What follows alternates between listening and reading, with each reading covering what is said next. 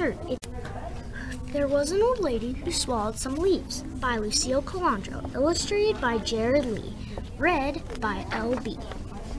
There was an old lady who swallowed some leaves. I don't know why she swallowed those leaves. Perhaps she'll sneeze.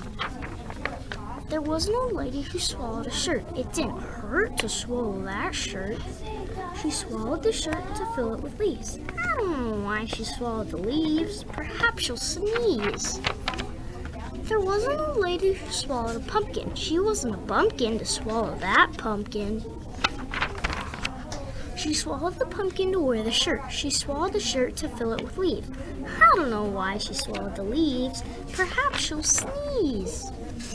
There was an old lady who swallowed a pole. She was on a roll when she swallowed that pole. She swallowed the pole to prop up the pumpkin. She swallowed the pumpkin to wear the shirt. She swallowed the shirt to fill it with leaves. I don't know why she swallowed the leaves. Perhaps she'll sneeze. There was an old lady who swallowed some pants. She started to dance when she swallowed the pants.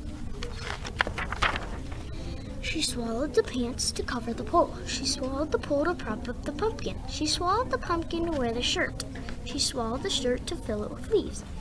I don't know why she swallowed the leaves. Perhaps she'll sneeze. There wasn't a lady who swallowed a rope. She didn't mope when she swallowed that rope. She swallowed the rope to tie up the pants. She swallowed the pants to cover the pole. She swallowed the pole to prop up the pumpkin. She swallowed the pumpkin to wear the shirt. She swallowed the shirt to fill it with leaves. I don't know why she swallowed the leaves. Perhaps she'll sneeze.